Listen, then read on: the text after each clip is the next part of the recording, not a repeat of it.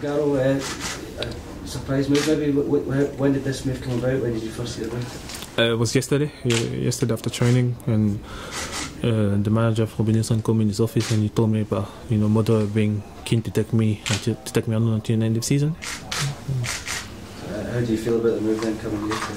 Yeah, I'm, I'm, I was- I was kind of surprised, but I mean now you know anything can happen in football. Now I'm here, I signed until the season, so we'll see what happens. But hopefully, you know, we can have a good, good end of the season.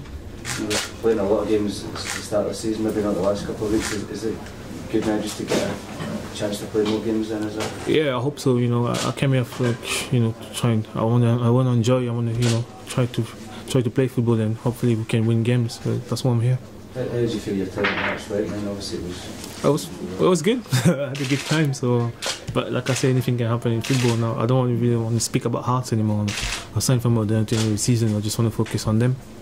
what is the manager Mark McGhee said to you? He just told me like, oh, I mean, we had a little chat and tell me like what, what he wants from me. So it was a good, a good chat, and hopefully I can, you know, perform well and help the club and help myself as well.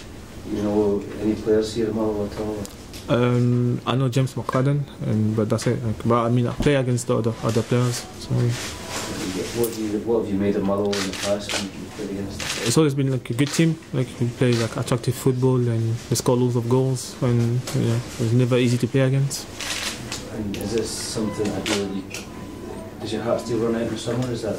No, no, I've still got one more year on my deal at Hearts, but I don't know. We'll see what happens. I mean, obviously, whether you're playing wherever you're playing in the summer, if you do well here, it, it, it gives you more options. Yeah, well, we'll see. I- I'm not really, you know, thinking about the like the summer. I just want to focus about right now. I've got six months to go.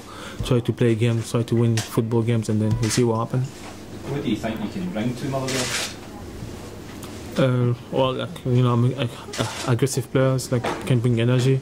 Like I'm composed on the ball. Like I like to play. So hopefully, you know, I can do my best for the club. And what do you think Motherwell can achieve this season?